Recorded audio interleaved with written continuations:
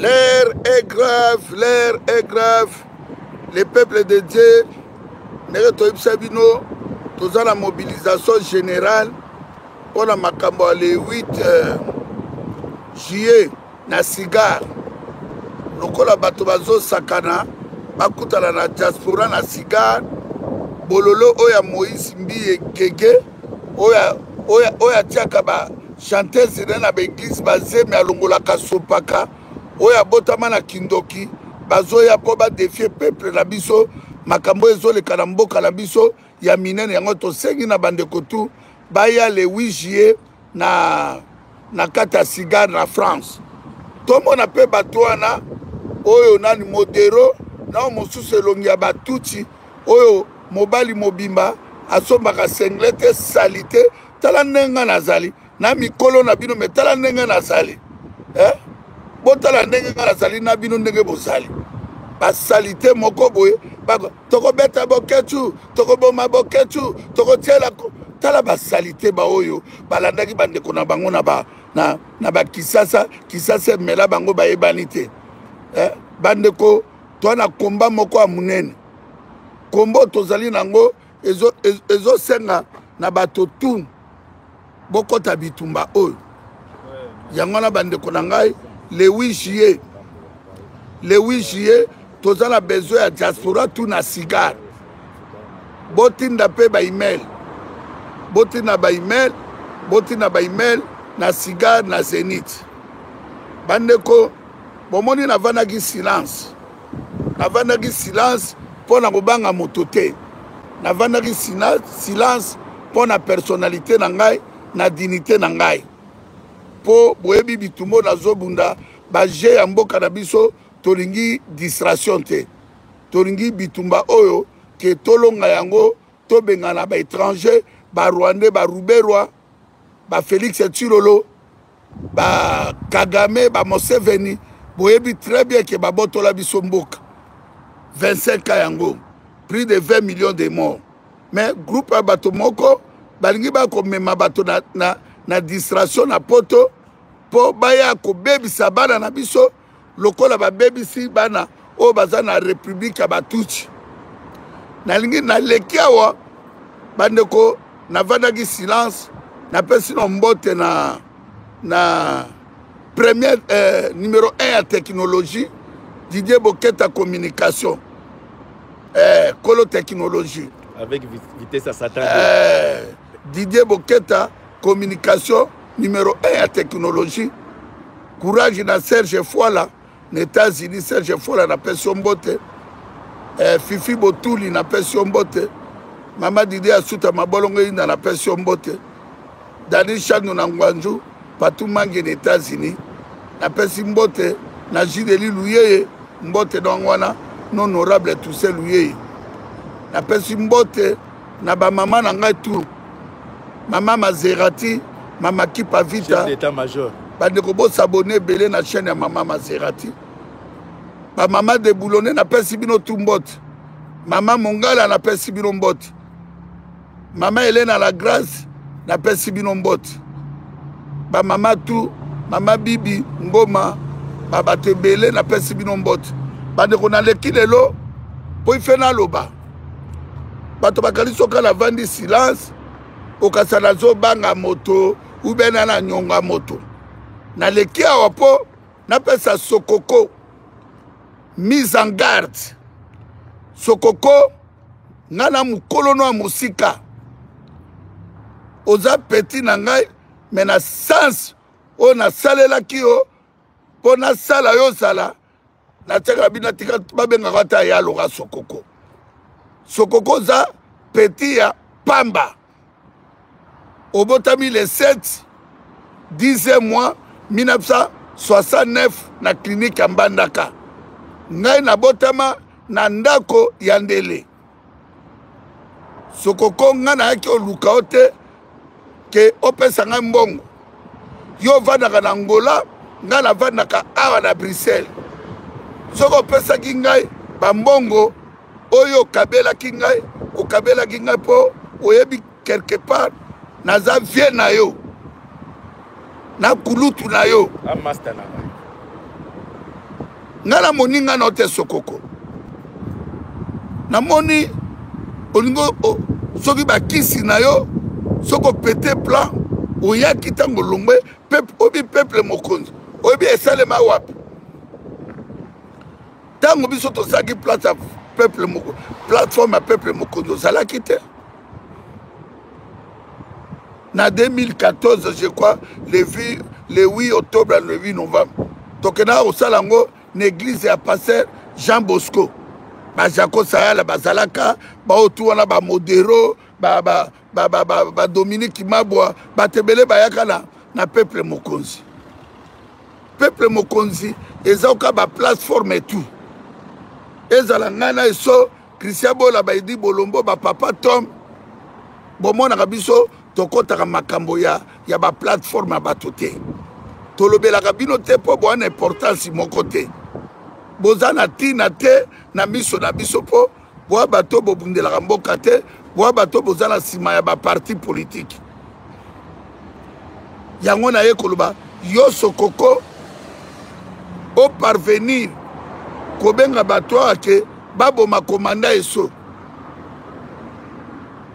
oyebi moto obengaki oza liboma oza fou nakanisaki oza moto moko zwa nyama sokoko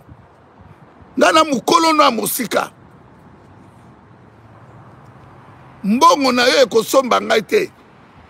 yebisa ngai yebisa ngai nani yango nani atomboli nkombo nao na mokili olinga nasala elo gratuit olingaki ofele bakofi bapesaka bango bambongo bawere didi kinwane asutela emenea mpo na kotonga ndako yo mona didi kinoa na ganga chacho mbala asombela nani eh, double sexe bensirima afungola yango na intere pele mongo amemaka na poto yo mona ganga nani yango oyebaki yo na poto awa nani bakofi ona balandi yo na bandi mpo ngai natomboli yo nasali yo ke ozala ndenge oza wana me yo opesi ngai mbongo ngai moko nakoki osomba mituka nasombi mituka na merite nalobi no oza na 5000 bateau de pêche yo na 5000 bateau de pêche ube oza na babwato ozo kokota na bamasuwa bato ngai nazozwa nazolakisa ke masuwa nao tout droit na kanai kaka olongwe olongwe mwana 69 le 7 10e mois na klinike ya mbandaka oza petit napesi yo mise en garde sokoko epuis okolotanga général ya bato général eluki asali yo nini yo na problème ya général sokoko yo na problème ya général mosala général aservira mboka na yo okosala yango mais soki omi traite kende mpa félix ya tirolo félix aza nani félix aya na bafeti na ngai félix amela alia mbongo na ngai na baanniversaire na ngai 45 ans félix azalaki etake eh, masa na ngai lelo ateki mboka na suta ye sokoko ifo okanga mbanga na yo peti yo sokoko peti yo kanga mbanga na yo peti ya pa pamba oyo akodistraire diaspora diaspora afutaki mbongo nasala ye nasalaki ye nga afingaki ye te nalobaki mabe na ye te me namoni ozo exagere okomi otinda bato baluka komande so baboma eso eh, ozwele baarabe bauta france mais oza liboma sokoko yo oza na nini ya koboma komanda eso namona yo mise en garde sokoko mise en garde keba petit petit yo keba sokoko keba petit wa petit moko apapamba wana mbongo te yo oza na mbongo yo sokoko yo omoni moto ya mbongo alobaka moto oyo aza na bamilio alobaka yo oza na mbongo yo mbongo na esisa mpasi ya nani natomboli yo mokili mobimba bayebi nkombo na yo nasali yo ke ozala yo olingai nasala yo gratuit elobi kulutu na ngai asha movoto ya matie mwana noko na ngai asha movoto yango naye koyebisa peuple ke sokoka aza liboma sokoka aza fu sokoka aza na, na bakisi na ye yo ozobanga kofi kofi azani kofi sokoko kofi akobetaka na poto te ti akokufa kofi akobetaka te na poto awa kofira werera jibira bango tu bakobetaka miziki na poto te jusqu'à la libération totale de notre pays sokokososa mobali ya tembe yaka kobetisa kofi atomona yo oza liboma tozobundela mboka yo ozomema distration oza imbécile criminel voyou bolole mongo ya bolole oza bolole sokoko yo mwana 69 ans yo oza na avion yo oza na hélicoptère nalambi yo tolambi nalambi yo nalambi yo okokutana oko na kofi bolole moko boye kofi irresponsable oyo asundoli bana ne badidison na liya kofi aza na nini kofi ndenge aza na sokoko yo na kofi boza na nini mpo su boza na mbongo moto ya mbongo alobaka te yo somola bill gate aloba yo somola ata batiacho mbala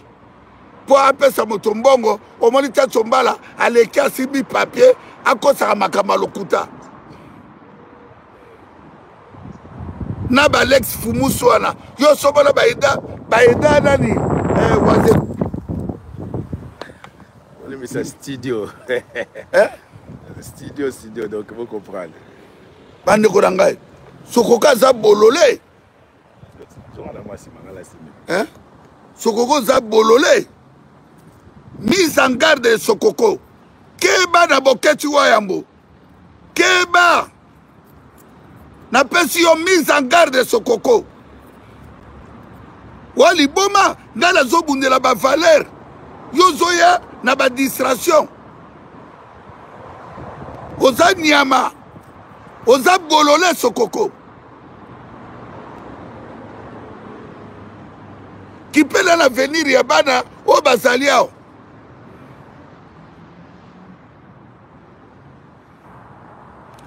na bajasi nyonso oza na banyongo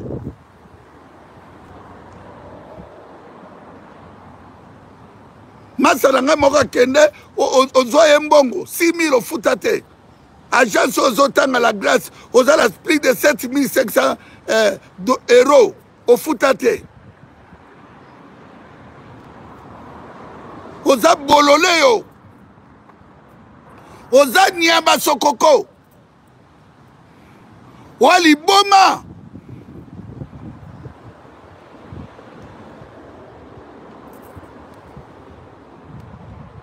bandeko na ngai sokoka aza liboma nzoka nde ozalaki moto ya liboma boye na na mbongo na na mbongo osomona nga na mata avion natie yo munduki na chambre na ngolabi pesa nga mbongo oh, natindelaki ye 1000 natindelaki ye 2000 natindelaki ye 3000 natindelaki ye 5000 mpo nakangaka yo singa na kingo ka yoka giome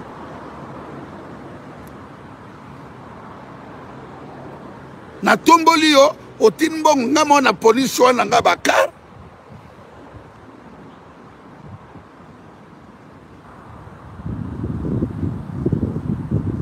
nasali shoi na ngai bakar ntango kofi ntango kofi bapesaki mbongo bato wana balobaka oza bolole peti oyo sokoko peti moko moke boye mwana 69 ans mwana 69 asa 69 wana komi mokolo lisusu te babotama na 69 mwana 69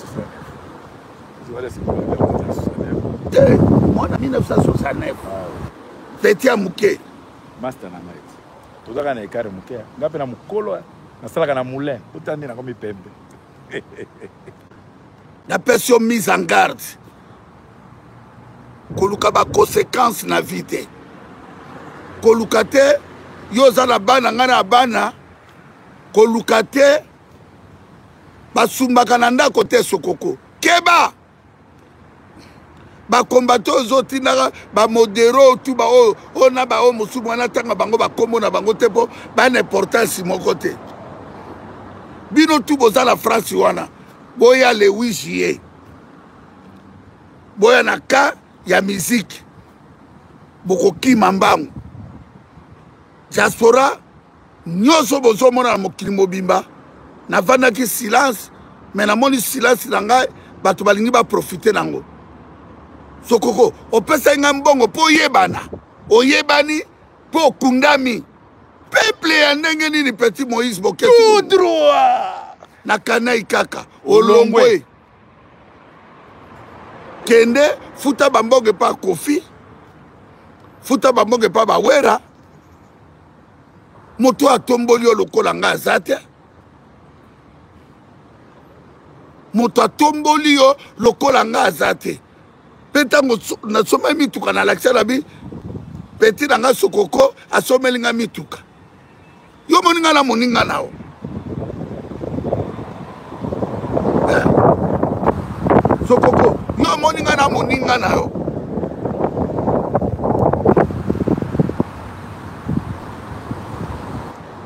tunanga epa félix tunanga epa kanambe bakanambe wana kutu rwandais tutsi nafukamela ye te yo kasi ngai nakoka kofukamela osokoko yo okoka koboma bitumba oyo ngai nasali 25 ans na bitumba oyo nasala 25 ans na sacrifie vie na ngai mobimba mpo na peuple wana nakendaki goma nakendaki kisangani goma bukavu uvira bunagana ishasha nake uganda nazongi butembo beni lelo nazo defendre mboka na ngai oyo kotia bato na paniki sokoko sokoko sokoko soko. yo oza nani yo peti o oza nani yo peti o fungola mbanga na yo lisusu kontinue kofungola mbanga na yo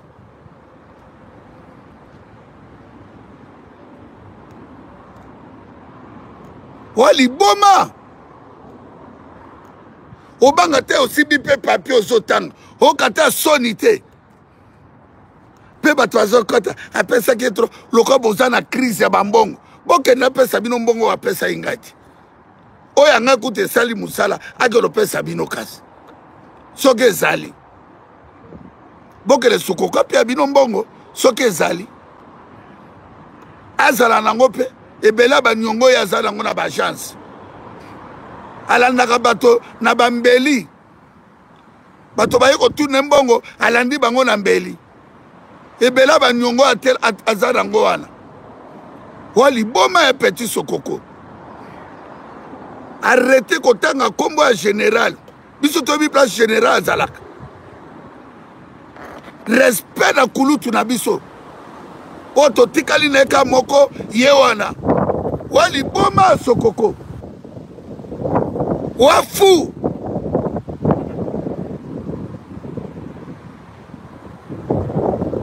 yaka na paris zwa sale betisa kofi totala bosakani na, bosakani na bitumba otamola ye eh? eh? mpo tovandi nie lokala vandi silence ozobenga bato bobomela ngai eso yo oso oboma bato boni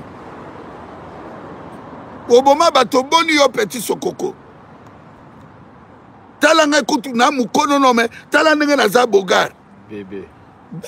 bebe bebe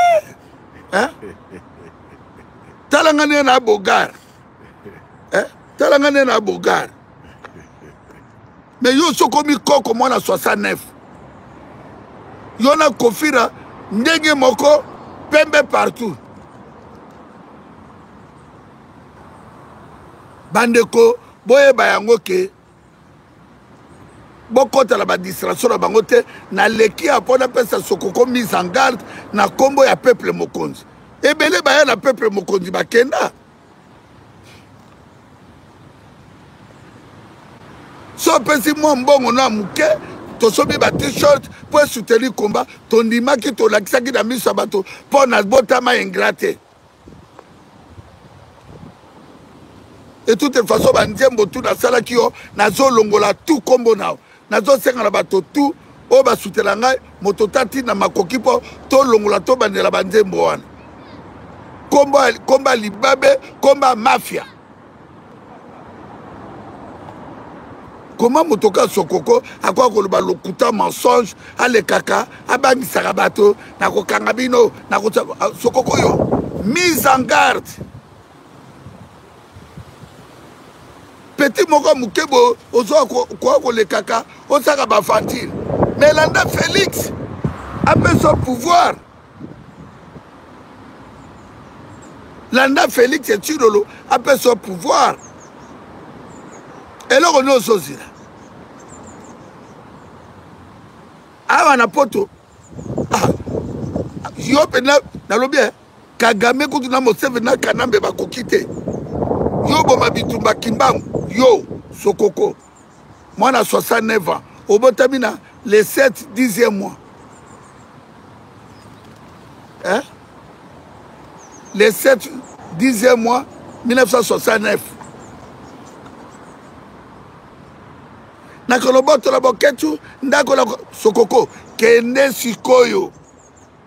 benga felix tilolo ndako oyo oyebi oyo osombaka kenda kozwa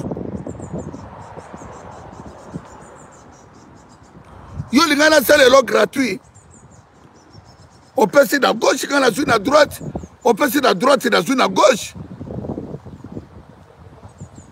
mpo so ozalaki ndeko na ngai okoleka oloba babuzoba wana yo olobi te nakanisaki okolo kanzi oza bolole ya babolo wana sagesse te na intelligence te yo na kanambe na félix boza ndenge moko bolole ya mwana mobali bonyama zoba sokoko oza zoba oza bolole oza ileka petit magicien ozolobalanga yaka na angola soki yo oye komba ekufi yaka na angola bakomande so bakoka bitumba okomande so asali yo kosala yango bitumba eso azosala leki na ngai oyo oh, tobundi na ye yo okosala yango soki yo te save biso tokovivre te moza malade omoni kofi opanike yo kanisaki ngai na na bato te omoni ye bato basukisi yo na diaspora boya le 8 juillet nakasi emmanuel macron akolela na bamarie le pen o oh, apesi boketi 300 000 na banke nini ata kutu apesaki mbongo yango soki ngai nabwaki ye pamba natomboli ye pamba yo lelo ozotanga komba sokoko mpo lelo ngai natomboli sokoko yo kombata oyo ya, ya, ya kindumbiste modero yo na france nao mosusu oyo, oyo aza na ndeko na asalaka epai ya félix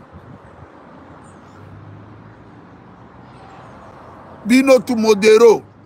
kombatana mosusu ya moindo wana nao mosusu ya boya le 8 juillet biso na biso face à face biso na bino face à face tomona komande so beta na mwa moke epuis nazozonga aya kobeta komande soki utaleki yo na bogai eh, bebe bandeko je pense que tozalaki na normal lelo mpo na banda babulo mais nabimi kaka mpo na koya koexplike Laura Sokoko. Eza na telemela wana na bien mpo Laura Sokoko mona ke oyo ozoswa na ye aza mobali. Tete nombre de mois oyo nasala na libumu libumu ya mama na ngai osala yango te.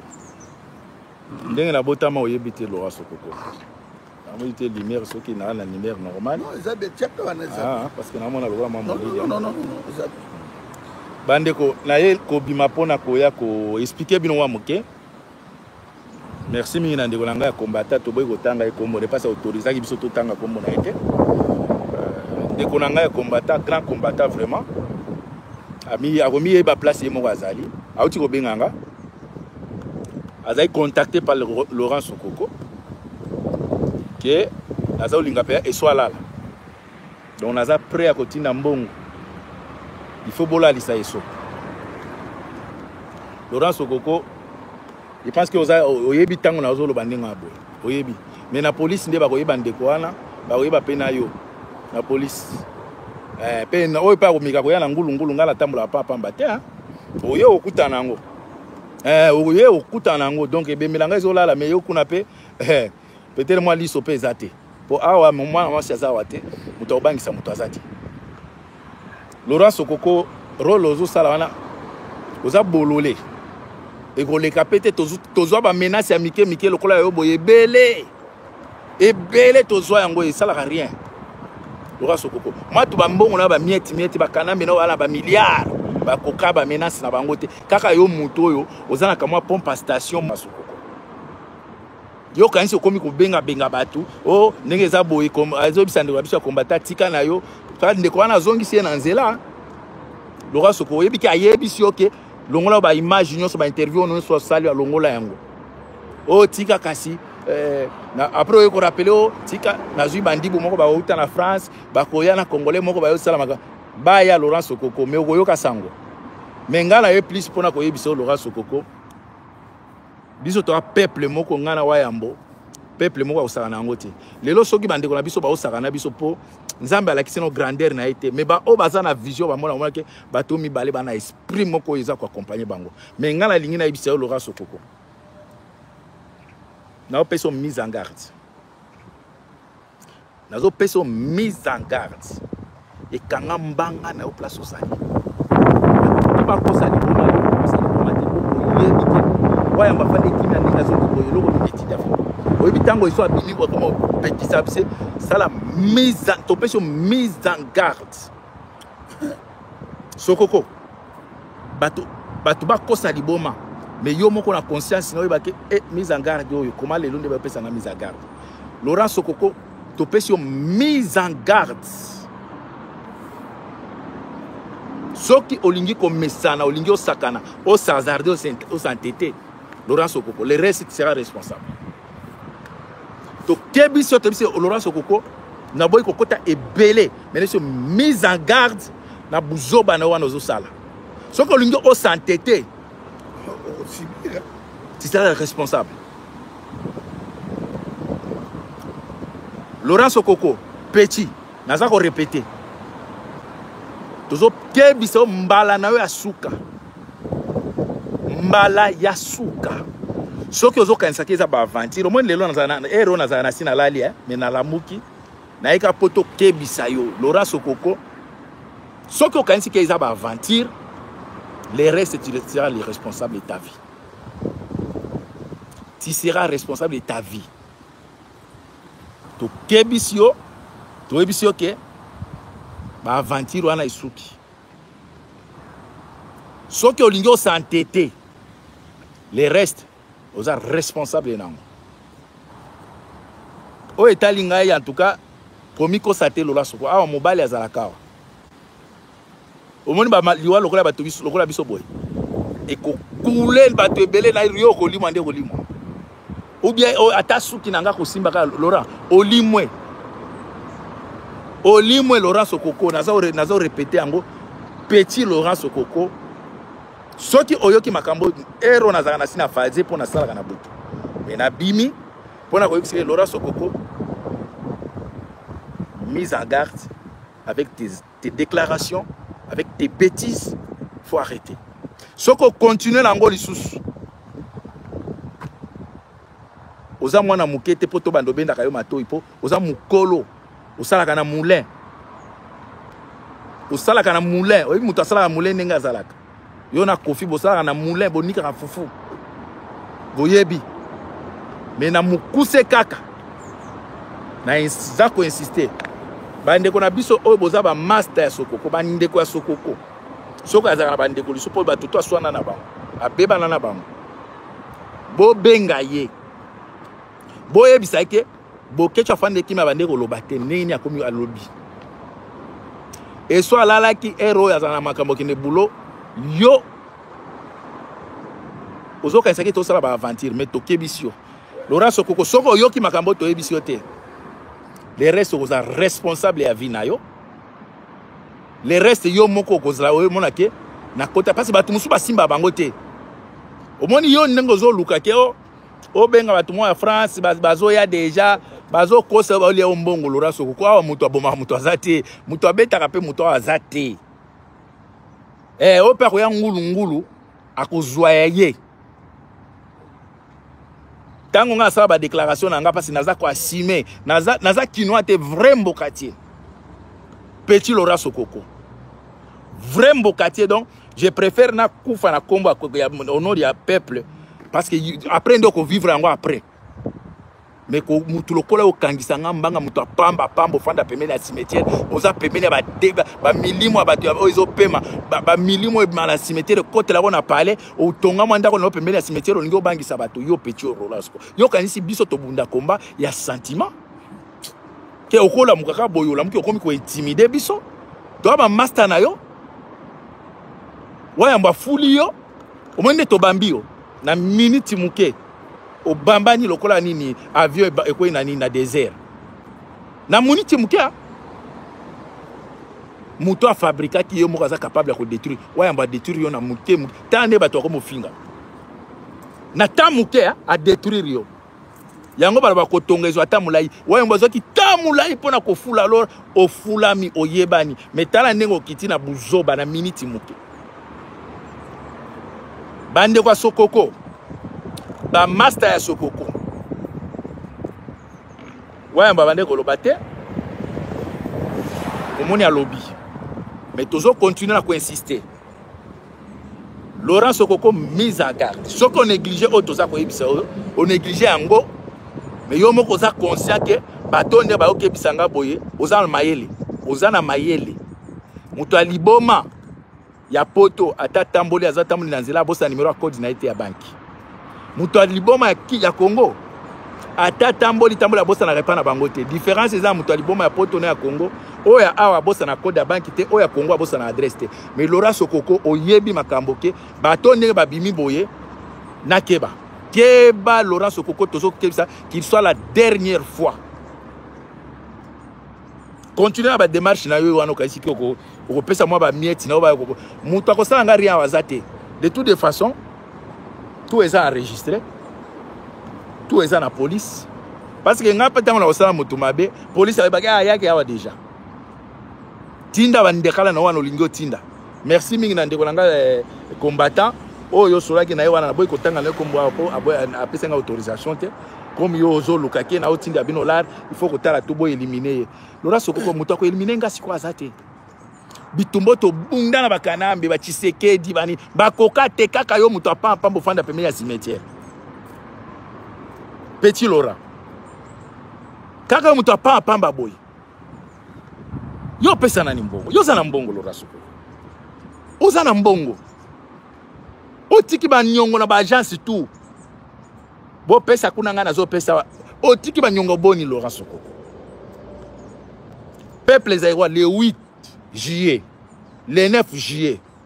bino moko bomoni plan ya banguna epai bapeti lokola laurent sokoko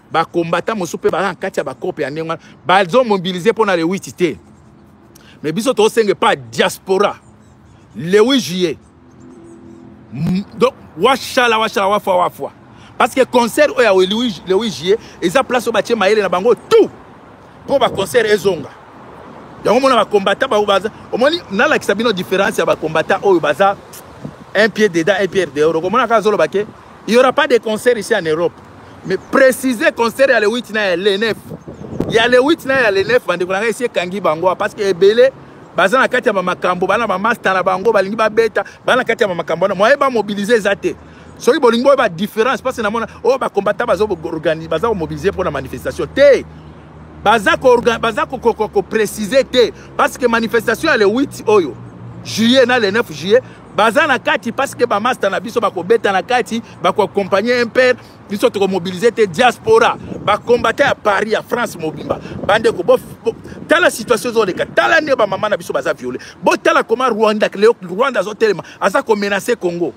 bandeko na biso ya est baza kobima bazokende ti na frontière mpo na koyebisa kebe barwandais toza prêt ya kobundela bino meme sa minduki mais biso bamona biso na poto tozobina bamonaka bino na biso na kati ya sale bandeko bamanipule bino te objectif oyo tokangelaki baconcert ezalaki l'occupation objectif oyo tokangelaki baconcert ezalaki présence ya barwandais na moto ya mboka kanambe ake te kanambe aza wana ti ba service oyo félix ye moko azo reconnaitre ke aza infiltré na armée baviole na bamassacre ti lelo eza wana yo sikoyo ozoyela biso parce que oza na baintérêt moko boye na congo eh, olingi omanipule diaspora mpo na baintérêt na yo ya koloba te bana wana babetela motu te oh, biso tokozala wana yo moto ozomona moto ya makasi le 8 juillet yaka na na na na, na sigale oyo ya ko défier biso oyo défier pe diaspora yaka soki oza makasi pourquoi boza mitema mabe boye olamuki kaka okomi komanipule diaspora mpo bayena mpo na baintere na yo ozomona te makambo ezoleka na congo esenga mobilisation mais comme mpo na baintere na yo concert ekobetama tozoluka jour wana oya oh zala liboso zala liboso awa eza mibali awa basi baza wa te hein? yo soki obunda komba ya après près biso tokaka ti après près te je préfère mourir comme ça comme ça sango etikali ke motu moko abundaki akufaki mpo na batraitre ya bacombattant bokanisi biso tobunda mpo na kobanga bino tomona bakombata banti kombata bandeko bocomprendre rtnc balobi rtnc bokoma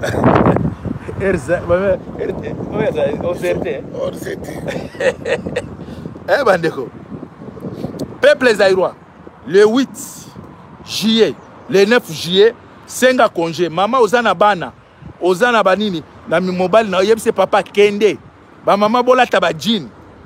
makambo elekaki ya fali eleka ya fali nauti kotindela ndeko na biso na kobenga ye eh? ata to toboyokana na ye te me na kobenga ye amoni sikoyo makambo amoni message oyo ya mpr lelo nde amoni yango bato balobaki boye bakobeta te bandeko ebele bayebi te bazomanipule bino Wayambo, lukela biso eloko ya MPR kwana yo. Po toche s'il vous plaît. Bomona bato ya MPR oyo bazoyebisa bino ke bana wana baza bayembelaki Felix te, bayembeli gouvernement te. Bandeko eza bato ya, ya gouvernement, baza bato ya Chilombo. balingi kofu donc soki concert oyo ya mpr ebetami baconcert to ezongi distraction ezongi congo tobosani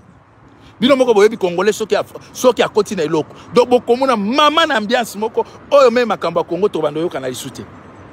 me yango biso tolobi toza ba avant gardiste concert ekobetama te bandeko boyoka bato ya mpeti yango ntina suka tiango mpe ntina suka yokisa bango ntina suka bandeko boyoka bato oyo bango balobaki baza bato ya félix te boyoka bandeko boyoka kliki yango boyoka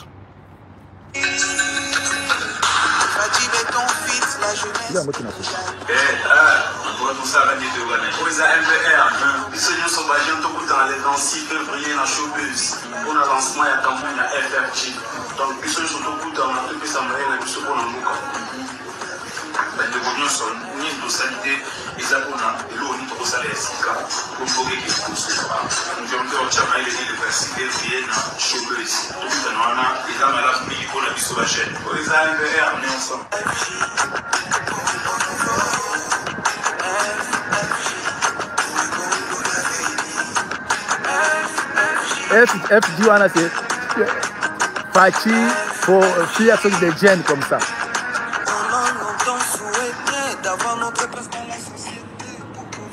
Vous comprendre toke lisusu boyoka jasura bolanda bitumba bato oyo bazoloba ke babeta kaka baza boyoka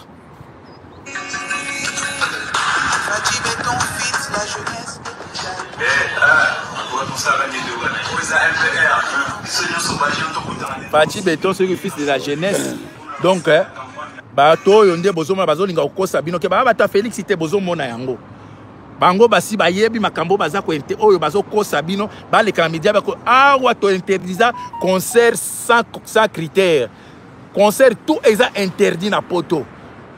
awa ah, bato babetaka bajonga tokanga bango basali ya minene ekobeta te omisisi auti na mboka occupation yawa Ah eh, bakobeta te diaspora moto amanipule bino te omoni baoyo bozomona ba ex combattant bomoni baolekalikala bamédia koatake biso koloba oyo oh, balie bato wana baza na bino te baza na bino te bandeko na ngai bino moko bomoni bato bango bazosuta oyambo pardon eloko wana bato boyoka peuple boyoka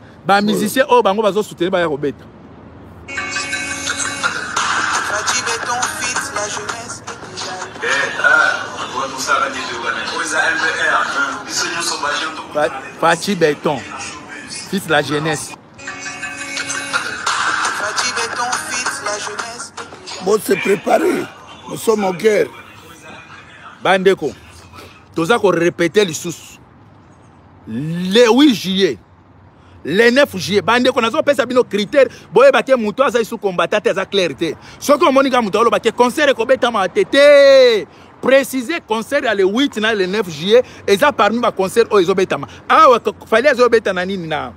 na kufe couleur café awa parce que eza bato ebele bakoinvite bato ebele mais toza kokomela police balongola ye azokomi parce que ah, eza concert ya ye te eza couleur cafe babenga bato ebele baya kobeta toza komela toza eza fe, ba fest, festival eza bato ebele bagroupe ebele mais oyo ya paris eza concert oyo eza produit par les congolais président na bino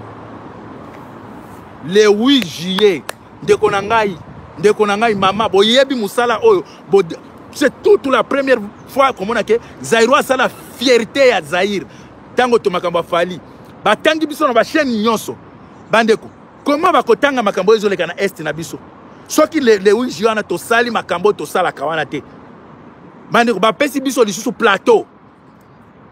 bapesi biso lisusu tribune ya kofaire faire parler le congo totikela docteur mukwenge ye moko te bandeko na ngai totikela docteur mukwenge ye moko te bapesi biso lisusu tribune oyo to faire parler le congo on doit faire parler le congo nde tosali makambo ya fali le 8 juillet 2022 le 9 juillet 2022 d'ailleurs le 9 ekolala à partir ya le 8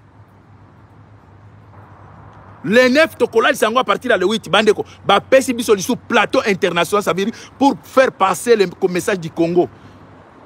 boya ebele boyebi makambo afali ndenge elekaki boya ebele bandeko on doit se défendre motu moko aya koimpose bino basentiment na ye baposa na ye baide na ye bacope na ye aya koimpose bino miziki ekangama libela il n'y a pas d'autre explication Il n'y a pas d'autre explication. Il n'y a, il y a pas de la musique, il n'y a pas la musique. Bandeko, comment bako manipuler bino bandeko na biso ya diaspora peuple oyo eza éveillé kofi kuna afinga bino petit le roi sokoko asakana na bino na bato ya poto basakana na bino eloko nini oyo bakangelaki concert oyo epuse lelo bafungola concert mboka ya libere mboka ekomi libere rubero akenda moseveni akenda ese miziki wana eza na priorité na moment oyo oh, bandeko na ngai miziki bandeko na ngai oyo balingi baimpose bino bana, bana balobi be babandi campagne ya faci soki fie le jeune comme ça babandi campagne ya komema peuple na nsima felix bango nde balobi babandi campagne ff wana eza soki faci soki fia soki les jeunes comme ça bandeko na ngai bolingi bozala manipule par quelque poignet ya bairresponsable oyo ba, ba ex combattant parce que baza na baintérêt na bango na nsima ya gouvernement wana bamanipule bino ke bato wana bapeti wana baza rien avoir avec non non non non marie paul azalaka awa aboya koyemba mpo na gouvernement bopesaki ata chance ngai moko navandi na bino awa wayambo azalaka babetaka me totikala na baconcert ya mike mike ebeta na yango bajonga banini babeta na bango concert na sala monene ayo ekobetama te bandeko ya biso ya diaspora mutu moko aya kokosa bino te na batheorie ya pampamba oyo oh, bomoni ça fait longtemps on sait mais ça fait longtemps nous sommes occupés ça fait longtemps nous sommes occupés toza prêt ya kolache prise wana te donc il n'y a pas d'autre chose à nous présenter à nous proposer mais soki bolozolobela culture mais bofungola bacentre culturel eh, bagroupe eh, ya banini ya baanimation oyo ya biso culturel ebanda koya batandu baye bayombe baye bamongo baye baluba baye banini moto aza ya kobeta alateli biso yoji ya mama moto makambo moko akomi centre yo musique culturelle ya wapi miziki ekobetama te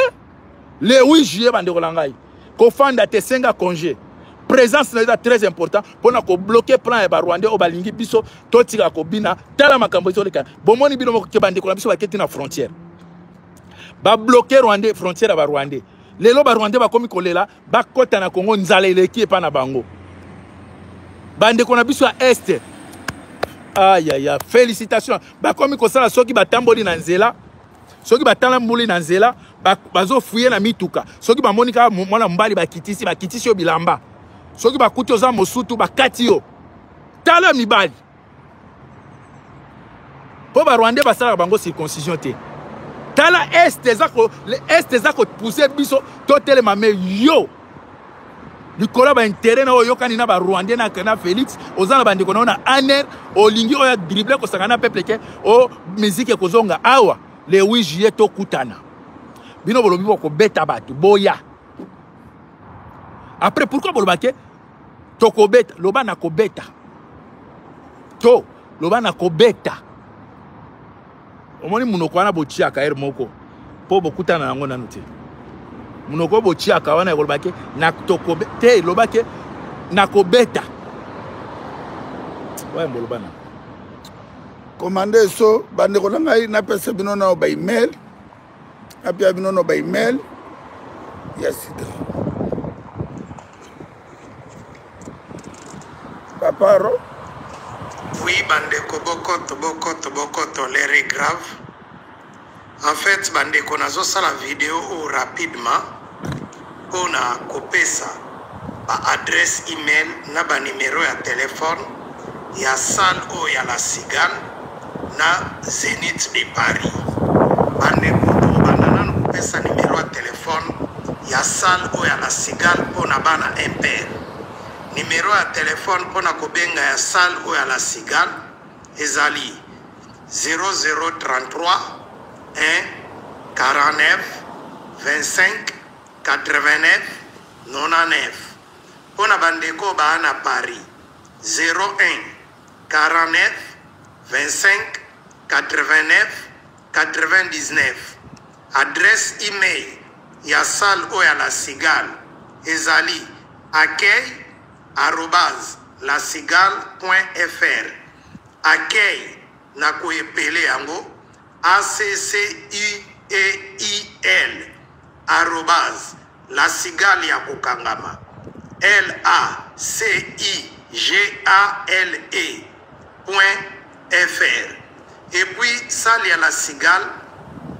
ezali na mairie ya 18e arrondissement ya Paris.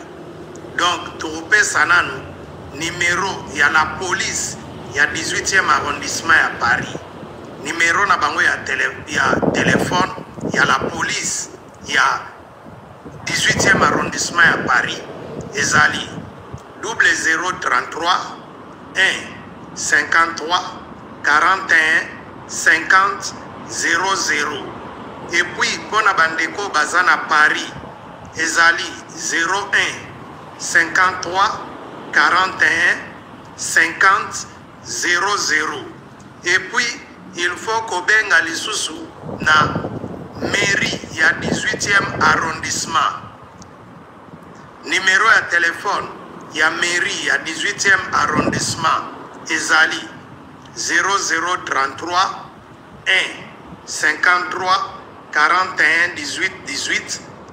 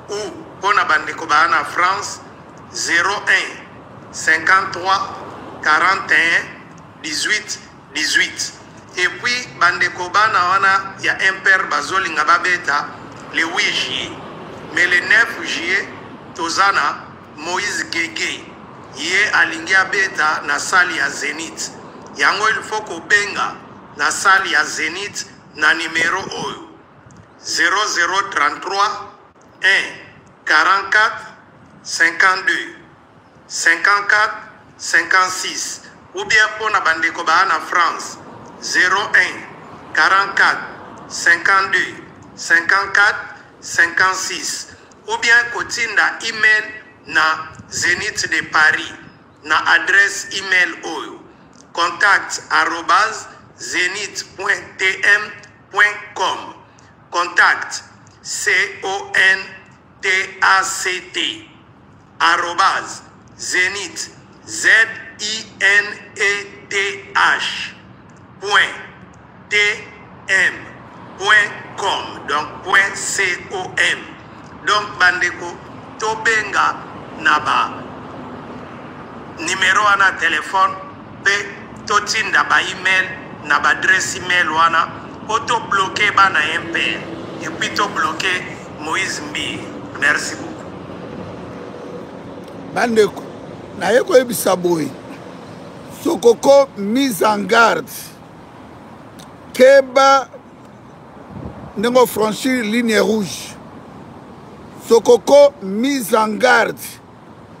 omona nga na ndako no na ngola te nazoloba dans la face du monde na mokolo na yo ya mosika wa peti na ngai ya mosika sokoko nakanisaki oza moto oza moto ya liboma oliaka nyei okomi fou sokoko mise en garde nalobi na yo mise en garde petit rola sokoko oza na mwasi na poto oza na bana ya mibatela vie eyali molai vie ezali courte makambo mosusu basimbaka te bato mosusu nde tozomona nga sokoko oyebi très bien ozotala ngai sokoko nayebisi yo boye oyebi ngai très bien bitumba oyo nazobunda mpo na kolibere mboka mboka ife ezala sauve kolangwa ko liboma te ya liwa eloko ezosala yo liwa nabo nasimba makila no na maboko depuis nabotama depuis nabotama na boyi ole naboma kanambe na félix bato ya liboso naboyi okufa moto ya liboso sokoko kofranchir ligne rouge te petit oyo elengi ya youtube yokoso te naloba no claire soki osatete nazoloba na famille oyo ya sokoko baleki na ye baninga na ye video bobenda ye matoi soki otie tembe okomona yango omoni ndenge na lekeo navandaki silence ta molai omona ngai na sina no contrat te omona ngai na ndako na yo te omona ngai nasenga yo mbongo te opesaki mpo olingaki lokumu lokola esimbi te yo oganie na oyo oganie ngai mpe na ganie nga aza musicien kofi bapesaka ye bamilio werera jibira na na niongo na yo te na mpe na contrat na yo te na sinano mpe contrat te totikala mpe komonana na yo te tokomonanaka mpe na yo te soki o, na mabe na kindoki na yo mabe oyo osala bato okomi na suka kufa yo moko mise en garde kanga mbanga na yo luka vi olesa bana na yo oyo baza na poto bamanki bosali ngai nayali pliteti koleka yo naza impoli koleka yo sokoko nazali plus dangereux koleka bakombata to oyebi mpe naza l'homme le plus dangereux na na kanda ya mboka na ngai na perte de 20 millions de morts bitumba ndongo omona ngai nalekela ngai komanda eso oyebi très bien keba keba lisusu kanga mbanga immédiat sokoko kanga mbanga na yo immédiat sa condition soki liboma ekokosa yo etali yo nalobi no boye na mokolo na yo namonaka moi liboso na yo mpe nzambe ayebaka ngai liboso na yo wa peti ya moke napesaka okoma ya lora sokoko na, na formaki yango mpo esimba obotami le 7 10e mois 1969 na kliniki ya mbandaka ngai na mokolo na yo wa peti ya moke peti laurent sokoko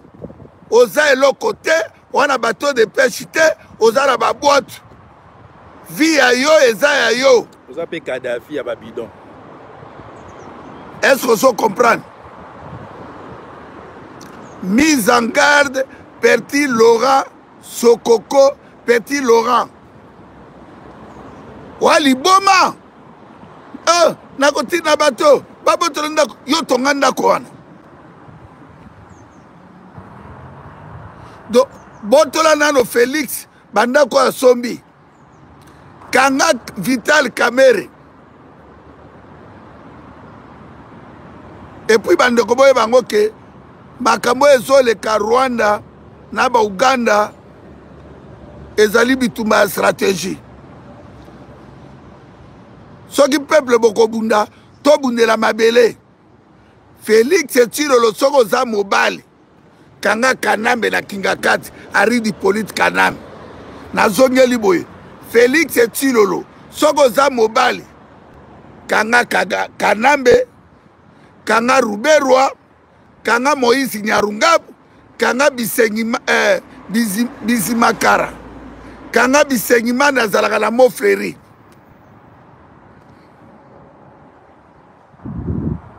nazongi sikoyo sokoko mise en garde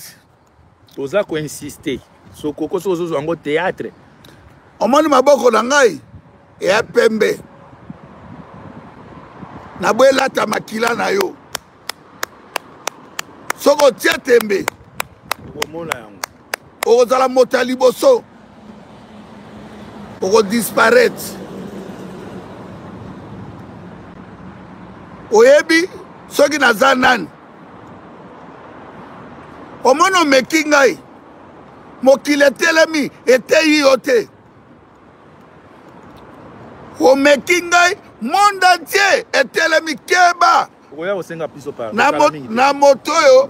bapakola ye mafuta nga aza eli de dieu nabangaka moto te omoni bino tu bakongole ya bacon moto abang nasekaka bino ntango navandaki silence nazoseka yo sokoko nazoloba e eh, hey, oka sokoko yango biso mpe bamusicien toluta oka oza moto ya liboma me na capable ya kosilisa liboma na yo na capable ya kosilisa liboma na yo bientôt la bato bakomonaka yo lisusu na youtube te bato bakoyokaka te okoloba keba na papa kimbangu keba na patrice emery lumbumba keba na président kasavubu keba na maréchal mobutu keba na cardinal mosengo pasi abengaki bino bamediocre oza mediocre sokoko keba na cardinal etiau keba na cardinal malula keba na bakanjana noirich keba na mamadou ndala keba na floribert chebeya keba na general baumba keba na papa honore ngwanda sokoko keba na arma tungulu keba na fidèle bazana na moment oyo bamakila bandeko na biso ezotanga yo olingi omema baaventure me keba oyebi na solo ano ebele na bandaki kopesa kose keba sokoko bakopiege yo keba komeka otrahise bitumba oyo te napesa yo ebele me oza fou oza moto ya liboma sokoko kende place oyo oyebi ndako wana ezali obotola yango so obotoli yango na, na, na lelo lelo baambasade tout ya biso mobutu asombaka ngai nakolalisa yango oa liboma yo oafuta ndenge mwana moke ya 69 okomi mpaka asalaka na moulin okomi bolole criminel epuis keba na komba général bato tu basili tika papa batavana na ye kokotia na buzoba na yo te keba na nkombo ya général eluki keba na nkombo ya général eluki amoninga na yo te conseil napesi yo yango wana soko satete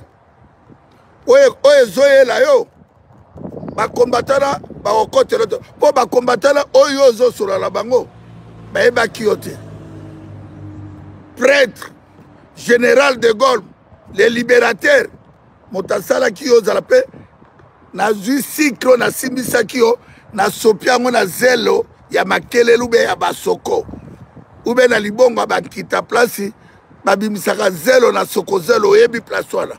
keba keba petit laurent keba petit sokoko na ngai keba tuna kanamba koka ngai te félix kutu peti ya moke yo oza poussière devant ngai oza poussière sokoko yo na kofi mabomo bozosala bokozala disparate bientôt là le jour de la libération est proche bokokutana na armée ya babylone nga aza eli de dieu nalobi nyonso koko na nko naza eli de dieu envoye de dieu na mabele wana oza zoba bakisi oliaka baniei irresponsable moyibi moyibi lora sokoko liboma na yo zoba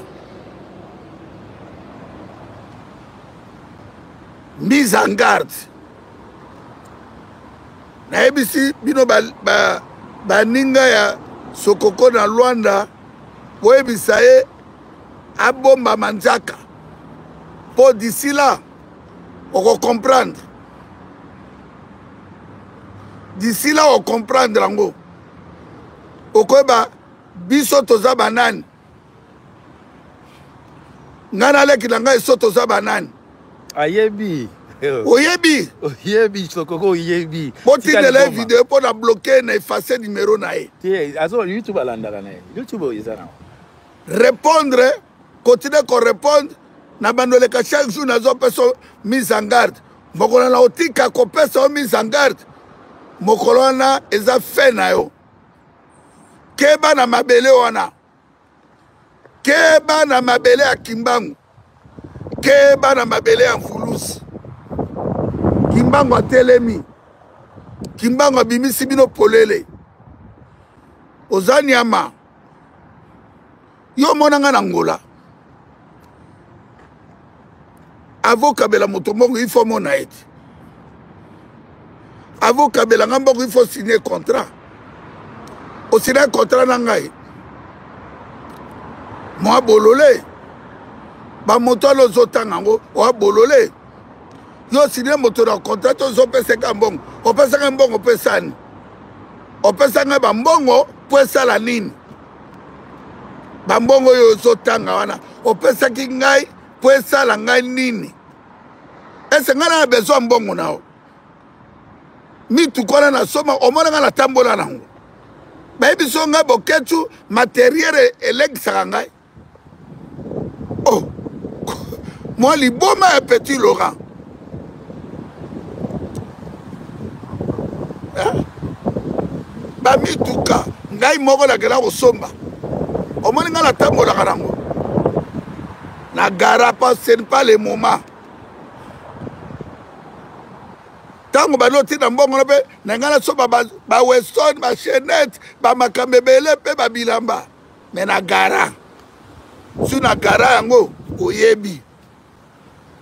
oyebi ntina nini na gara nga nasaleli yo mosala oyebani na nango na poto ayebaki yo na bato oyo bayemba yo nzemba yango ebetaka wapi soki asala erere okeli soki obima bato bamoni ndenge ozalaka baregrete bato baregrete na banzembo yango bato bayembela yo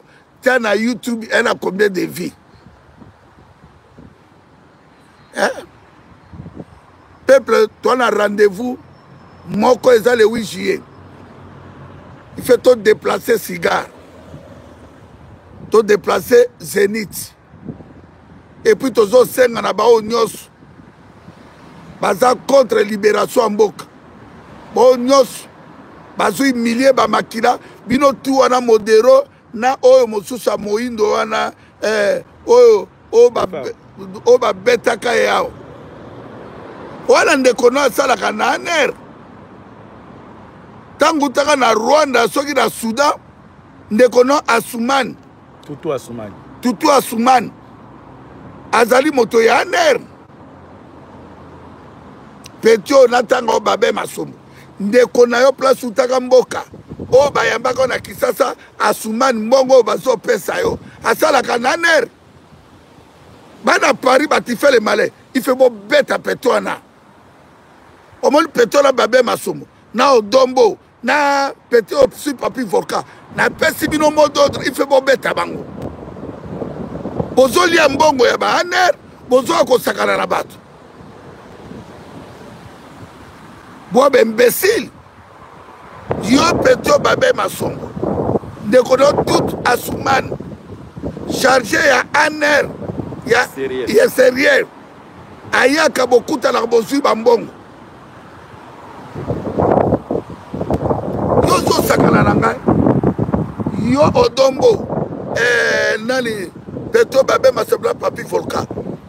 petit yo volcan auti kozala na nsima ya nini ya yo yo volcan okenda na kisasa yo oza ndeko ya brino cibala ozonga nini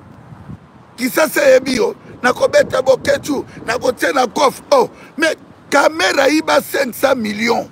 de dollars babe masombo na odombo soki modero mpo nayebi so claire avant boboma ngai nakoboma bino tu misato kamere avandaka na paris ayibi 500 millions de dollars na amida baza wana bolandi bango te bolanda 300 mille osokoka azoloba petit laurent sokoko pesa odombo 300 mille babe masobo trop sabina papi volka batika ngai crise ya financement bwa bazoba makambo eza serie ya mboka babotola mboka notre pays bien aimé les aï mabela mvuluzi kimbangu kimbangu akufi anyokwami akoti baprison lelo bo akuimilie yo motoka yo bololo ya modero irresponsable moyibi tuna ondekano amemaka na poto tuna ye ngai naza nani epa na ye yo vie oyo boza nango na paris bopusana bo pembe na vi na ngai na mikolo na bino ya mosika meta nde bokomi mpaka likolo ya bomeli makila ya, ya, ya rosi mukeni bomeli makila papa honore ngwanda ya floribert etiebe ya na arma tungulu yo bololo oyo dombo nayebisaka na makambo ya arma tungulu nini omoni nga arma tungulu abimisi yo libanda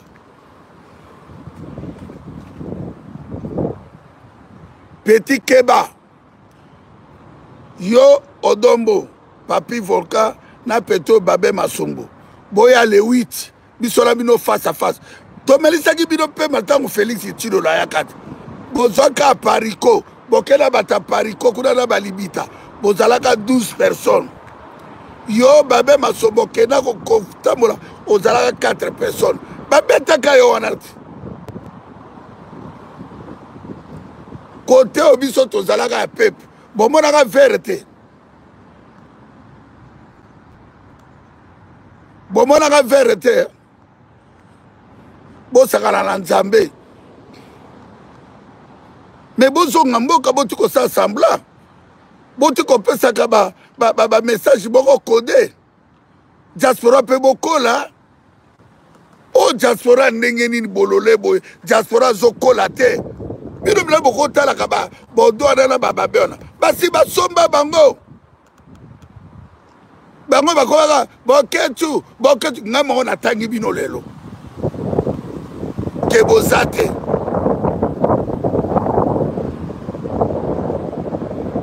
natangi bino lelo bino bokoboma ngai bino bino mpenza bokosangana kabo otoyei koboma wayambo tokoboma wayambo tokoboma oh me boboma kamere te yo odombo olobaki kozali ozali militaire kende oboma félix na kanambe na kingakati me ye peti wana ye moto akataka barage ya ingati oboma bana macombe okokufa mabe peti yo kanga mbanga na obanda lelo finga kanambe obandaki kobenga mwana ndeke ti aloba yango ezite finga kanambe finga félix finga christian tisekedi bandeko na ngomeli batoto wana bafuti bango mbongo basali mosala pamba mpo leadership oyo bokozwa yango te ta un omoni leadership oyo nzambe aboya bino bakoko na ngai baboya bino leadership oyo eza ya peuple mokonzi biso tobundaka yokola peuple mokonzi ya ndenge nini plateforme eza nini pouvoir au peuple pour le peuple par le peuple soko bata ndenge bakolo teka mboka bato oyo bazobundela peuple azwa pouvoir vrai tout d'abord tozobundela il fait toganye pouvoir spirituel mpo mboka spiritualité eza te yango moni baétranger baenvahir biso komba na biso yali il fait to réussir pouvoir spiritualité oyebi elingi eloba nini tala barabe ba makasi mpo bareconnaitre prophète na bango mohamed bachinois oyo bobanda kofika bango babuda tala ndenge chine etongami na thaïlande tala dubai yango mpe bakolesa bandeko na bino banie kuna barabe ife nkombo ya kimbangu erenie kimbangu ya 1921 ah! avanga na kufa il faut tozala na écriture na biso nkombo ya kimbangu etangama koleka mokili mobimba kimbangu le sauveur ya peuple noir kimbangu c'est un grand prophète kimbangu akufeli ngai na kodefendre makila ya kimbangu boyebaki ngai bien te sikoyo boyebi ngai lelo secret ya bitumba na ngai ezali ya kimbangu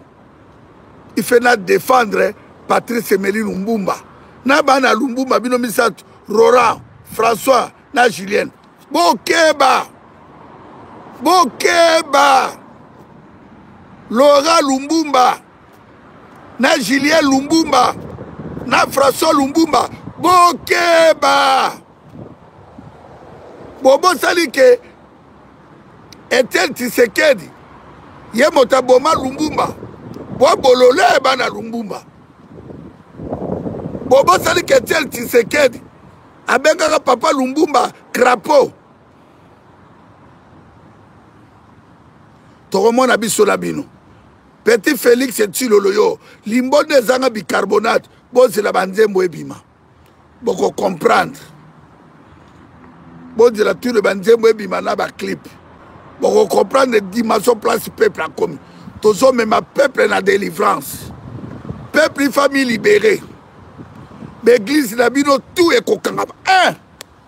baeglise na bino tout ekokangama jésus christ le roi du monde alobaki celui qui tue par le paix perira par le paix lokola bino bobomi na epaix il faut bosatendre epaix oyo ezoyela bino bokolela bazoba yango nazongeli lora sokoko petit lora sokoko oyo abotama le 7 10e mois mwana 69 keba na vie na boketsi wayam keba oza eloko te kobanda ntongo ti butu mpe okozalaka eloko te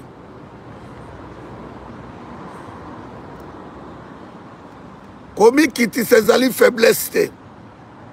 na moto ya bolingo na moto a trop patient na vie na ngai na moto nalengaka na materiel te bandako te sokoko baoyo babanda vie bakufa babota omoni yo oza motakala obotama motakala okokufa motakala loka sokoko oza na eloko te omoni ngai nabotama motakala nakokufa motakala me naza na eloko nakotika histoire ata nalali babatala elomba mobali naleki awa ah, yambo komanda eso bamezole na biso ekozala fiere biso to baliberateur vous croyez bokoya kopanike bato eh, lora sokoka alobi apesaki boketi wa yambo me bwa maboma boza basenze basanze esprit diaspora modele nini ese ngai nakendaki na angola sokoko oh, nakiti sokoko olakisa ngai video nakitaki na lwanda nazosengo lakisa ngai video oyo ngai nakitaki na ngola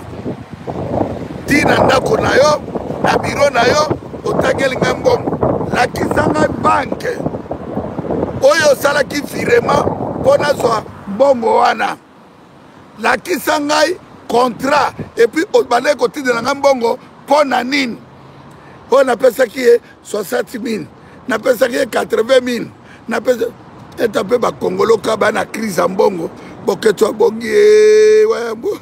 ye kaka bongaka o oh. me kamera eyebi bino 300 yo kasi sokokola nayebaka ye ke ana nsima ya bapolitisien akozala na ngai te nakolanda ye te mpo na vivraka ba belge bafutaka ngai nasalaki na na salaire na ngai provisoire tout nazalaka nango bato mpe bayidaka ngai na silence bayede ngai te mpo nani bino bozosombela bapastere bandako bavoitire ngai na na droit te o oh. ngai na nana mais ngai na moomba nzambe te yango nzambe nakumisi nzambe mpo nalakisaki yango so nalakisaki yango te bato balingaki bake wayambo obona boye nabombaki te mpo eza nango biloko ya mokili e nango na litoma te sans valeur litoma ya solo ezali koyeba nzambe kozala na vi ya nzambe kosala mensonge te kokosela moto makambo te loba verite yango mo nzambe na ngai alinga o oh, tu abundisaka ngai akitaka sokoko yo oyebi te ke ngai nabotama na ndako ya ndele mokolo nabotamaka na ndako ya ndele na ntongo nzambe akitisaka mbongo na se ya mbeto soki boyebi mfi ya moto te bomekaka te nga ebale ya paku na ebila ekauka mpo ngai nazwa mbisi nazwa bila boye papa monaka oyo mai ekauki na katikati ebale na age ya 12 ans mindele ya wipei tozalaka 300 chaque ntongo tozokende place baotongi aéroport ya mbandaka bamindele baye kobondela papa babipesa biso mwana na ya 12 ans oyo tomema ye na italie nga aza etoile moto aza na nzambe asevantaka te moto aza na nzambe awelelaka materie te ata natikali na journée moko nzambe akopesa ngai nakolowela bomengo naluka nini me yo sokoko oyo moi na di commandema ya moïse alobi kosala faux témoignage te lokola osali faux témoignage naye kopesa mise en garde naboyi nasimba makila na yo na distance navandaki silence nazwi baconseil ya bato wayambo merci koloba te koloba te me ntango namoni yo ofranchi ligne rouge yango naye koloba napesi yo mise en garde faire attention batela vie na yo batela vie ya bana na yo conseil gratuit koluka te okufa lobi baleki na yo mwasi no aza na bana na poto oyebi ntina nazoloba na yo okomona félix te mokolo yango okomona kofi te okomona lolendo nontu ozosala wana ya lokuta okoka ko disparaître pamba keba petit laurent keba petit sokoko na mokolo na yo banga moto oyo amona moi liboso na yo nakalisaki oza moto meme mbwa na yo ozala nde na ndako aleki yo na mayele keba moto avandi silence kokasa aza yuma te ndenge natelemi boye nakasi mokili eningani e eh? soki okomprendre yango te d'ici là okomprendre me kozala trop tard soki okomprendre te mpe nayebi ke okomi na suka ya vie na yo na bokufa na maboko na ngai oyebi ke naza plus dangereux que toi plus dangereux fois millième fois keba kosima moto te kosala faux témoignage te kanga mbanga na yo laurent kanga kanga encore mbanga na yo ya mibomba keba na vie nasali yo à travers ya nzambe na ngai nazalaki reconnaissant na yo natombolaki yo mpe nakundi yo koluka te bakotiela yo eloko oyo ntango bakoki kotiela okomonana te diaspora soki na ye awa naleki na ngai komanda eso compayon de la révolution ya solo oyo abota atambolaka na 5 mois abotamaka na 12 mois mine ebimaka na keba na di oyo oh, komande so bakati aliaki mbongo nga na kolia komande so mbongo tosinyaki kontramina nga nasalaka kote mosusu ye mosala na ye koyemba ayembaki bopesi nga nasalanga tuna yebisa oh, oh, oh, yaya eh, eh, bolisongisongi boye oh, ayebisa kofila nakopanza bango okwei place mabe awa ah, bato bakuba na mama oh, nakopanza bango mpo ngai nde moto nayelaki komande so na bita moto lora sokoko asombelaka biso ata bato mpo kokomande so ayebi yo ata nimero ya pamba avo panja bato ife komande so ayebo epuis tosalaka na société nao ya babwatu o oh, eswa azokende na la grâce ake kotala soki eh, ngai na tosololaki tala boni lokuta ya age boye ntango opesaka mbongo pourkoi obengaka olekaka na internet te ntango otindeli ngai mbongo nasoba mituka ngai mwa moto nasala sho ya mituka yango wana opanika okomprendre moyen na explike yo mpe eza te me ntango ozotinda mbongo il faut oyebisa diaspora ke obengi bajournaliste no natindeli boketu 10 000 natindeli boketu 20 000 pourkui oye koloba yango lelo siko alobi mituka wana asombeli oyo eza ya biso mais siko osombeli ya biso mais olaki ngai lisusu olaki papa aron olaki pa nini comment s'appelle viedi yo moko bio nasombeli bino mais yo moko so nabengisi komande so ozali komande so zila tour na yo na osombela yo edi bolombo opiadi olaka bato tour ngai nazwaki mpo na meritaki etaka artiste musicien tozala na komande so komande so keno tika ngai nakela ata mwa ozwaki ya mosala na yo papa kose justifie te Hein? apesaki yo mpo ye mpe azwi ya ye mabanga na ye amati se fini sikoyo ye alingaki ngai nasalela ye gratuit eh, ntango nayembaka peleapres eloko mona koyebisa bino limbisa wayemba bandeko kofi olomide malin kile oyebi ke kofi olomide akoki koenregistre moto ya mbongo te mpo ayebi ke awa naliaka aza koenregistre sokoko mpo aza na mbongo te yebi tata na piblia kosala ri aza na eloko te moto ya mbongo kofi aenregistre ya publie jamais akosala yango te place azo alilaka mais comme ayebi te sokoko aza mpiakere aza na mbongo te yango mona enregistre ya ce qui est grave apublie aye lisusu aye lisusu alobi non yakoki elengi kofi azo enregistre ngai esala elengi te yakanisaki base soko base ememi ye na liwa tala ndenge bato nyonso bakomofinga bato tu bakomofinga base oyo akende asala ememi ye na liwa topesi yo mise en garde mise en garde lisusu mise en garde omona ngai na ndako na yo te tokutana na yo te tosololaka na telefone natomboli yo oyebani mpe nakundi yo lelo mpo okundami lisusu nakosala une semaine nazozela une semaine mise en garde ti dimanche après okomona makambo ekoya soki oza na tembe okomona yango merci beaucoup